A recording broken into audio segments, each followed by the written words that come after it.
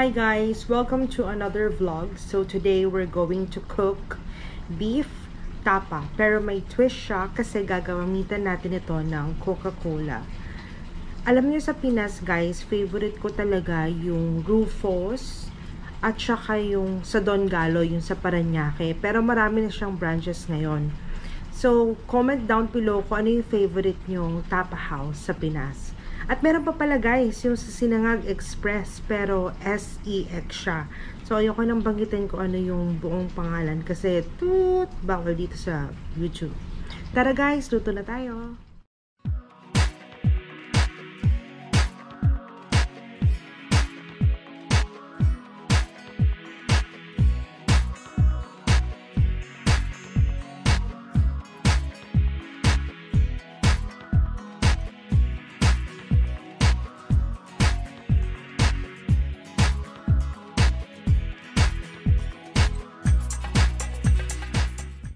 So, sa pagmamarinate, kailangan nating ilagay ang soy sauce. Tansyahin nyo na lang kung gaano kadami ito.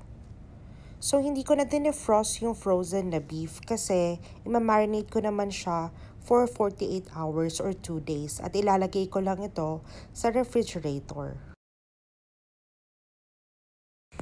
Next ay ilalagay naman natin ang lemon juice or lemon extract. So, makakatulong ito para ma-neutralize yung tamis ng ilalagay nating star of the dish later.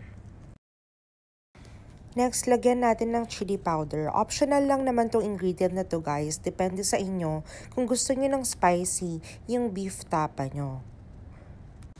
Next, ilagay natin yung ground black pepper. Then, syempre, yung star of our dish, yung Coca-Cola.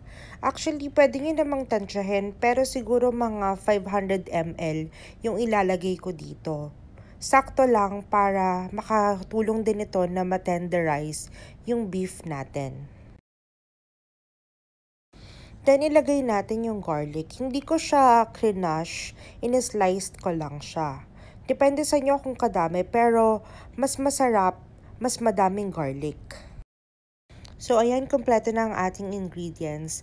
Bali, lalagay ko lang ito sa refrigerator and make sure na at least 48 hours siya nakababad para mas lalong maging tender ang beef. No need to pressurize.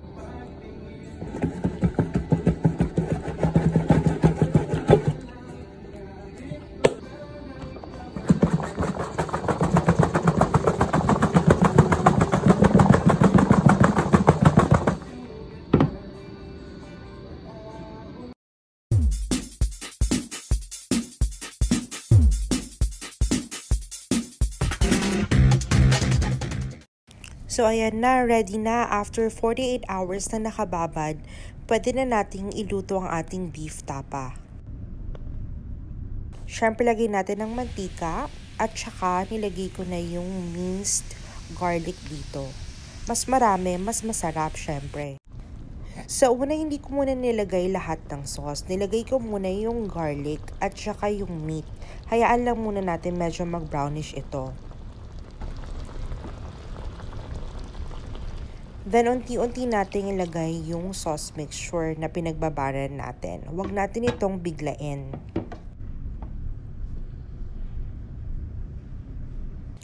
So, unti-unti nagka-caramelize yung toyo at saka yung coke na nilagay natin.